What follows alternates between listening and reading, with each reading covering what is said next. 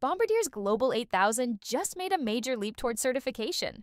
This aircraft isn't just another business jet, it's the fastest civilian plane since the Concorde.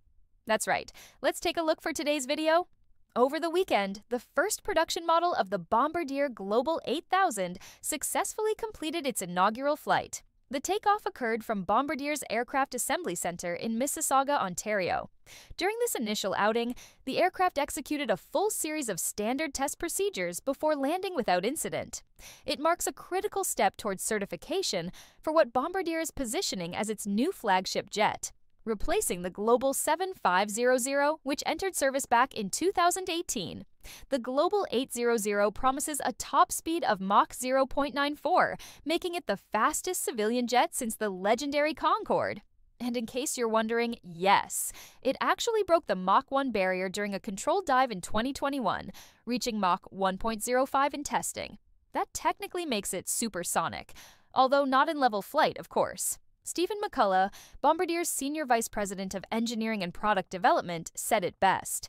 Having this first production aircraft take to the skies is another important step in this journey that will redefine the business aviation landscape. On board this historic flight were pilots Sandro Novelli, co pilot Charlie Honey, and flight engineer Bhargav Pavsar.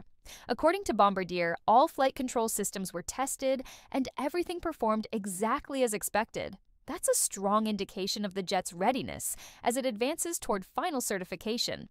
The next stop, the aircraft is now scheduled to fly to the Laurent Beaudoin Completion Center in Montreal, where its interior will be fully fitted and customized. So, what exactly makes the Global 8000 special? Range 8,000 nautical miles. That's long enough to fly nonstop from Singapore to Los Angeles, Dubai to Houston, or even London to Perth. Cruising speed Mach 0.92 for typical long haul use, but as we mentioned, it's capable of Mach 0.94 engines, enhanced GE Passport engines with optimized software for improved range, and a 33 knot speed increase over the Global 7500. Altitude Like the Global 7500, it cruises at up to 51,000 feet. Cabin features This will be the largest cabin in its class, complete with four customizable zones. Options may include a master suite with a bed and stand up shower. Cabin pressure.